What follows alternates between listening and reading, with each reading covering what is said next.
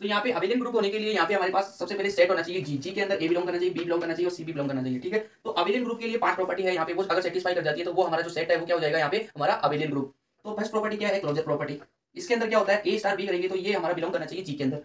Second property है हमारी associativity इसके अंदर अगर ये रिलेशन सेटिस्फाई करता है तो वो हमारा जो सेट है वो एसोसिएटिविटी क्या करेगा? सेटिस्फाई करेगा.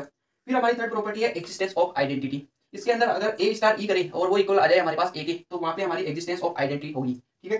फिर फोर्थ प्रॉपर्टी क्या है? एक्सिस्टेंस ऑफ़ इनवर्स तो इसके अंदर क्या होगा? हमारा relation A star A inverse करेंगे तो वो किसके इक्वल आना चाहिए? ई के इक्वल आना चाहिए। तो वहाँ पे इनवर्स एग्जिस्ट करेगा। फिफ्थ प्रॉपर्टी क्या है? कम्यूटेटिव ये मेन प्रॉपर्टी है। कम्यूटेटिव के अंदर क्या होता है? अगर ए स्टार बी करें और वो किसके बराबर आ जाए? बी स्टार ए के इक्वल आ जाए तो वो क्या हो जाएगा? हमारा सेट कम्यूटेटिव हो जाएगा। अगर ये पाँचों सेटिस्फाई कर गई प्रॉपर्टी तो वो हमारा जो सेट होगा, वो क्या हो जाएगा? अबिलियन सेट हो जाएगा। अबिलियन ग्रुप बोलेंगे उसको, ठीक है? अगर ये चार प्रॉपर्टी सेटिस्फाई होती है तो उस सेट को हम ग्रुप बोलते हैं। अगर पाँचों सेटिस्फाई हो जाती है तो वो ग्रुप है, हमारा क्या बन जाता है? अबिलियन ग्रुप तो अगर आपको ये वीडियो अच्छा लगा है तो वीडियो को लाइक करें और ऐसे ही एजुकेशनल और कंसेप्चुअल वीडियो के लिए